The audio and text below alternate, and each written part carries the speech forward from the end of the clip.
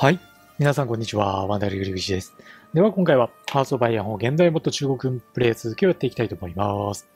まあ、前回ですね、いよいよ戦線がヨーロッパの方にまで拡大して、イタリアとオーストリアが先端を開いたわけなんですが、これに介入してですね、イタリア側に中国軍、オーストリア側にアメリカ軍というね、えー、あたかも代理戦争かのような状況になりましたが、え、これウィーンまで進行し、オーストリアをイタリアが併合するという形で一旦、え、先端が閉じられているという状態です。一方ですね、トルコとギリシャ、ここはまだ戦争継続中なので、今度はこちらの方にですね、トルコ側として介入をしていこうというふうに思っています。では、早速、続きを行っていきましょう。まず、イタリアに集結して、オーストリアを攻めた軍。これをですね、トルコの方に入れます。で、このトルコに移動した後ですね、ギリシャを攻略していくというのを考えています。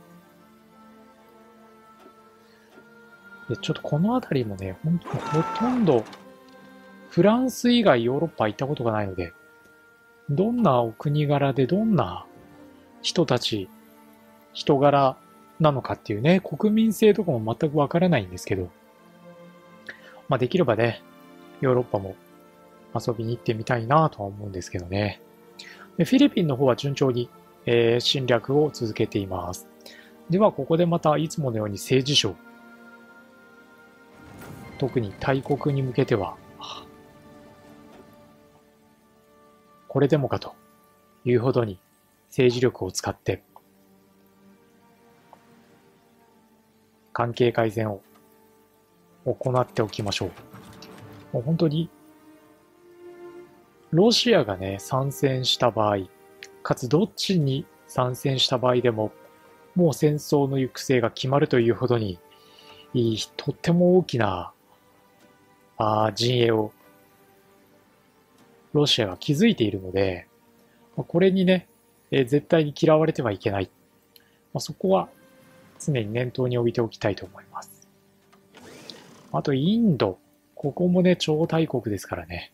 さらにオーストラリアがまだアメリカに完全になびいていないので、これもつなぎ止めをしっかり行っておくのと、あとは東南アジアですよね。このアジア一帯をアメリカが抑えるのか、それとも中国が抑えるのか。これでね、だいぶ変わってきますね。日本、ここにもしっかり入れておきます。こんなとこですかね。ではこれで少し時間を進めながらですね、フィリピンの侵略戦、えー、攻略戦行っていきたいと思います。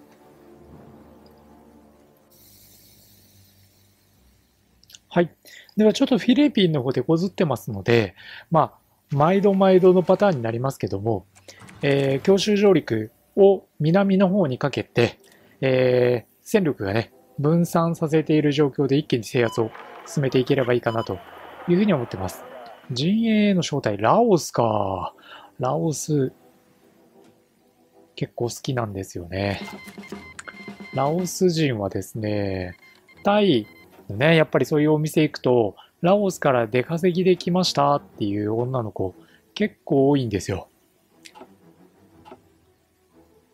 まあね、そういう女の子と知り合いにもなったりしましたけど、まあ、ここは、今は、アジアを、そして世界を滑ようとしているのが、この中国なので、ラオス、歓迎しましょう。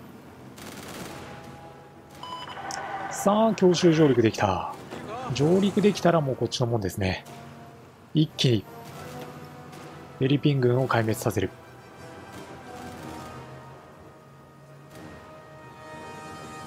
その力が今の中国軍には十分にありますからね。フィリピンの55番も行ってみたいしな。ベトナムの女の子はみんな綺麗だし。久しぶりにマカオのね、中国人の綺麗なお姉さんともちょっと遊びたいし、いろいろあるんで早くね、元の世界、戻るっていうことはないと思うんですけど、まあ、観光客であっても、えー、まあ、普通に旅行ができるっていう状態にね、戻ってくれたらいいなというふうには思いますけどね。まあ、このまま行けばそんなに遠くではないのかなというふうな期待もありますが、ではちょっとしばらく見直してなかった装備の生産ですね。ここも少し考え直していきましょう。えー、備蓄とにらめっこします。えー、全然足りていないのが消火器。消火器が全然足りてないな。これ、最優先で作んなきゃいけないですね。多少減らしたなっていうものはあったんですが、これ、少し目離すとすぐに生産品のバランスが崩れてるので、こまめにやっぱり見直すっていうのがね、重要ですね。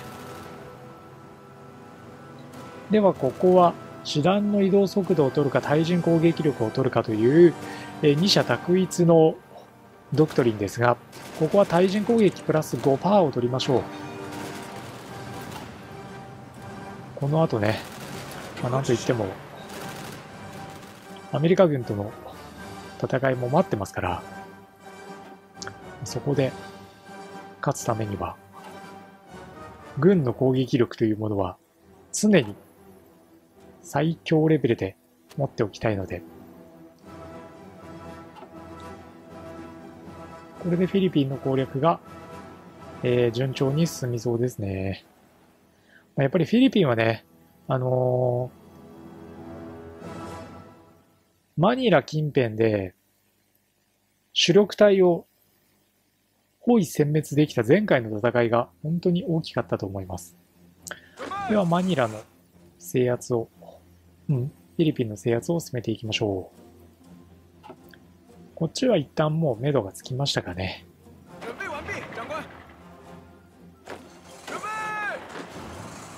では、中国の方ですね。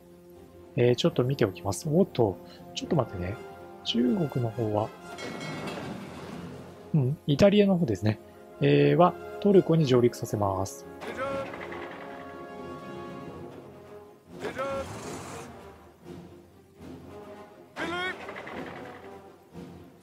ではこのままトルコに着くまで時間を進めちゃいましょう。はい。ではフィリピンの方は残すはセブ島だけになりましたね。セブ島に強襲上陸をかけて決着をつけましょう。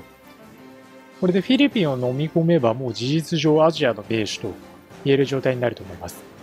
で、トルコとギリシャの戦争に介入している状況ですが、こちらもですね、えー、今軍をギリシャの方に、陸軍ですね、え進行させるように指示を出してあります。まあ、拮抗状態になってますけど、ここを一気にトルコ側に戦局を傾けるという動きですね。で、ボリビアから不可侵上陸。ついにアフリカにもこの中国の影響力が出てきたと。アメリカ軍が10師団。いや違うね。アメリカ軍が10師団ってなるとちょっとドキッとしちゃいますね。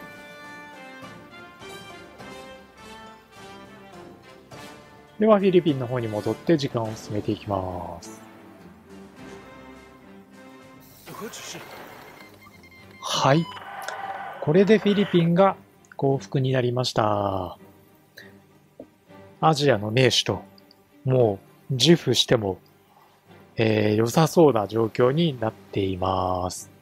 戦争の状況を確認します。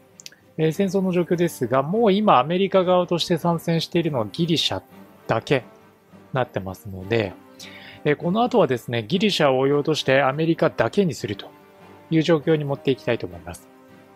では、時間を進めていきます。で今、トルコ、ギリシャの最前線に行きました。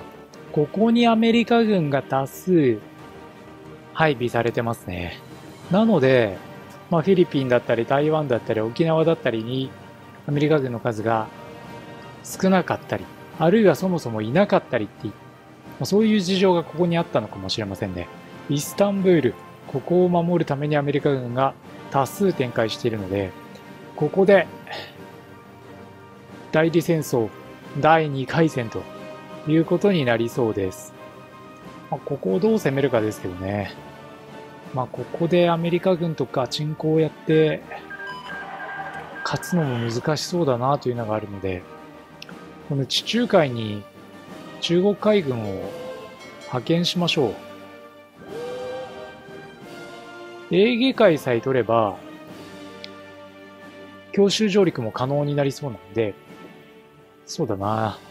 2個艦隊ほど、このエーゲ海、地中海に派遣します。それを待って、強襲上陸をかけていけばいいかなというふうに思います。はい。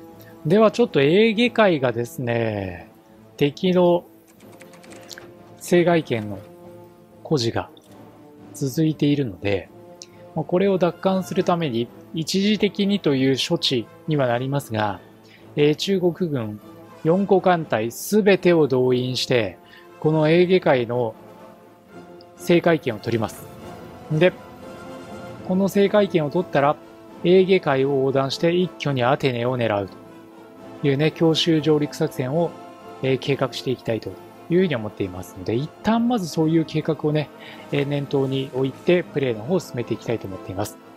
えー、では、今回はですね、えー、一旦ここまでにさせていただいて、次回その様子をお届けしていきたいというふうに思います。はい。最後までご視聴ありがとうございました。内容いかがでしたでしょうか？ぜひ、えー、皆さんの感想や、あとアドバイスですね、いただければ嬉しいなと思います。それと、チャンネル登録と Twitter のフォローもぜひぜひよろしくお願いいたします。